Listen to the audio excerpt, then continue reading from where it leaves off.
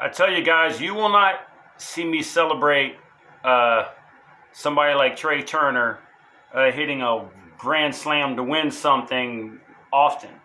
That would like have to be Bizarro World. Uh, you know, former Dodger and former Philly. But I streamed the game tonight.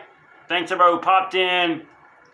Trae Turner, a grand slam in the top of the eighth inning uh, to turn that game around against Venezuela uh, winning at 9 to 7. We wound up closing it out. Ironically, two of the biggest home runs so far in the World Baseball Classic have been by Phillies. Remember, Kyle Schwarber hit it in the game I streamed against Great Britain in their first game, and in this game right here. And I'm going to tell you straight out, uh, Mark DeRosa, do not pitch Daniel Bard or David Bard or whatever his name is again. That dude almost cost us uh, a trip to the semis. Just an abominable fifth inning, lost the strike zone, blah, blah, blah. Couldn't throw strikes, but whatever. This is about Trae Turner, man. You see, everybody there, fan, I mean, players of other teams, you know, Cardinals, uh, Cubs, Rangers, Rockies, Angels, uh, Phillies, Mets, whatever. But you know, I'm loyal to the soil. I'm an Italian American. I love Italy and I love the United States of America where I was born.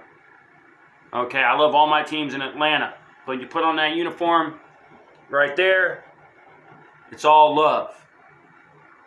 Trae Turner, you did us proud, sir. I'll be watching that a million times over. I will be streaming the game tomorrow night, but I might get here around the first or the second inning, so be patient. I will definitely be streaming it against Cuba it was tough seeing Ronald Acuna in a, a, a, enemy uniform in Venezuela, but I had to see him fail.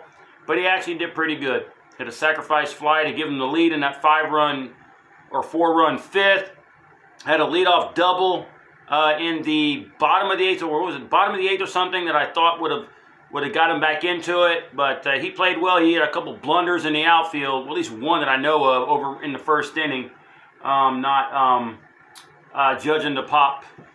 Uh, I think it was Mike Trout who hit it, kind of got fooled by the sound or whatever, and it was just a, a bad defensive play uh, by him. Venezuela looked bad on defense, just throwing the ball all over the place, made some good plays. United States played played good offensively and defensively. One of the guys for Venezuela, Arce, whatever the hell his name is, hit two homers. Kyle Tucker of the Astros hit one for us. But the big one, the grand salami by my dude, Trae Turner, sending us into the semifinals against Cuba, 7 o'clock Eastern Time tomorrow night. And I'll see you there.